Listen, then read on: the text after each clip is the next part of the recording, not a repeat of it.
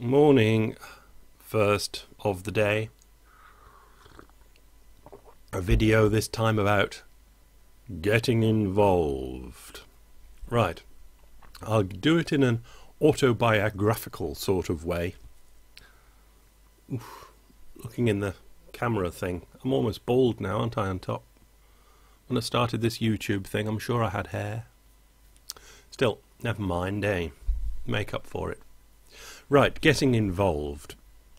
I've got three ages to go at you with um, 15, 17, and 23. You've heard a bit about me at age 23, so we'll go back to age 15. And one of these flashbulb memory type things of being in a maths class, that is, math uh, lesson for Americans, and at that particular time, Mr. Steele, who took the maths lessons. Um, seemed a decent enough bloke, but I really wasn't at all interested in maths at the time. I'd just given up on it. I'd given up on most schooling, really, uh, and learning. Um, was taking really not much notice of much. And I'd taken my watch off in class, and it was the last lesson of the day. If I remember rightly, it would have been a Thursday, but that's irrelevant detail and I was watching my watch, which had these ancient things called hands that ticked round. And I was watching them tick round and taking obviously no notice of the mathematics teacher teaching the mathematics. And the overall thing was so evident that this was terminally and dreadfully slow going. But it was such slow going, it made an effect on me that made me a thinking. It knocked out other thoughts. And one of the thoughts was just looking at your watch slows things down. And it was kind of, I'm 15 at the time. So I'm thinking, well, am I actually slowing time down? And you know the thoughts that, in a daydreamy sort of way, come to a 15 year old.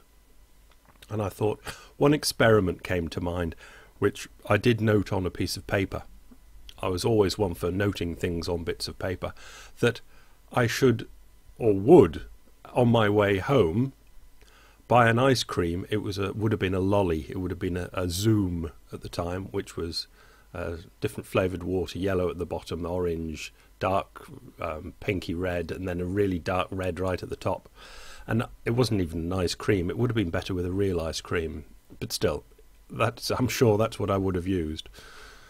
And I was going to look at my watch and eat my ice cream to see if it slowed that down because I remembered that the eating of ice cream always seemed to go snap so quickly like that, and maybe I could make time stretch out and stretch out the glorious feeling of eating an ice cream.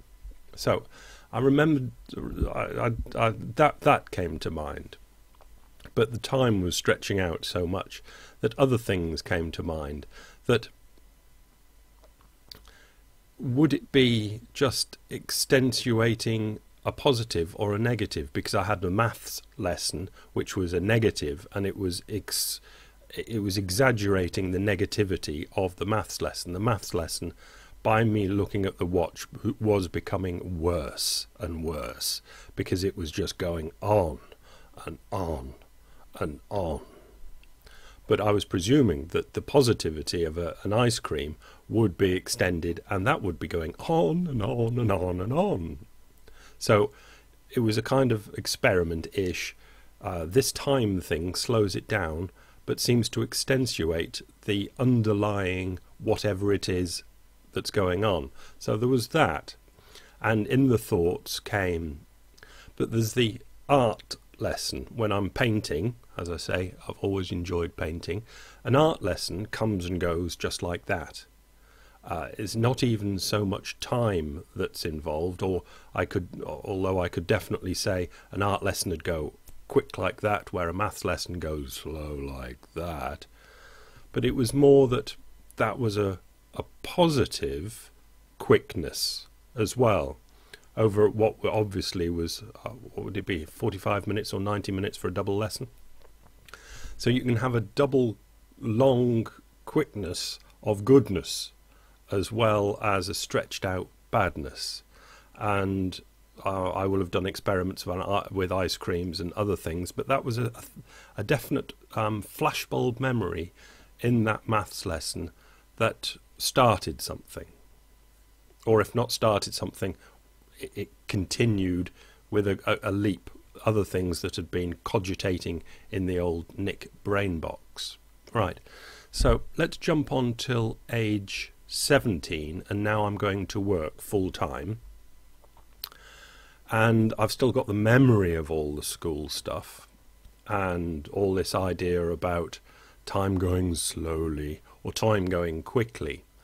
And I was working out um, all this uh, working stuff and how's best to do it because I'd worked out at 17 how many years I would have to do it for up until my retirement at 65, which was the standard. And I won't do the math again because, um, anyway, it was an awful long time. And when you're 17, it's multiples of your age, and you think it's an awfully jolly long time. So I remember this is another flashbulb memory walking down the main street going to the my store I was in a store selling things with loads of other people. I remember I had my brown brown coat on, and I was working out. Well, if I'm going to do this for all these many years, I think I'd prefer it to go like an art lesson and rather not like a maths lesson. So I was working out techniques where I could make it not like a maths lesson, but by, but like a an art lesson. And the thing to do was to get involved. You've got to get involved in these things, and if you get involved, it whooshes along. Uh, whether you have not time to note the boredom of it or what you don't have the boredom of it, so it does whoosh, but it needs to get on sleigh rails with nice whoosh to it. So I did that. I got involved, very involved, in my working day. Now, this wasn't please management sort of um, working. This was a please Nick sort of working. Management was often not pleased with the way Nick did things, but I got myself really involved, so much so that the store was open six days a week. We were obviously only paid to work five, but I would often work six without the pay for the extra one because I was so involved in it. I wanted to be there and doing it. But again, note, um, often causing trouble for management, but amusing myself no end. And it was going quite well. I really quite enjoyed those first couple of years of working. Um, yeah, okay, let's jump on to 23. So I've been to the south of France, come back, tried to do this painting and decorating thing, and, and was in the whole cogitating um, thing for uh, what to do with the, my future again from there. Now, what we have here is internal and external things. What I've just told you about were all the internal things for me. I'll call it internal and external anyway. So I've told you all the internals. Now, the externals went something like when I was 15, classic teenager. External, I'm just talking life in general and what I can see of it and judge it to be the big external life thing. Life is rubbish. Standard teenager, nothing to be um, shocked about, normal teenager life is rubbish. At 17, I had come across no reason, still a teenager but an older working one, no reason to believe that life wasn't still rubbish. But I was looking around at other people, uh, the way they seemed to go about life and everything, and I, I was still seeing overall it's rubbish because I was soon to learn that as I at school wanted the term to end so I could have summer holidays or weekends or whatever it was, it was the same for people working that were just often just working 50 weeks so they could do this two weeks of holiday. And I was thinking, this is not quite right.